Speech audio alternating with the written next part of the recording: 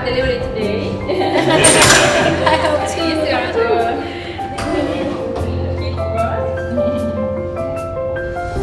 ជាមានអារម្មណ៍រំភើបណាស់ហើយចង់ឃើញកូនឆាប់ឆាប់ហ្នឹងហ្មងហ្នឹងហើយ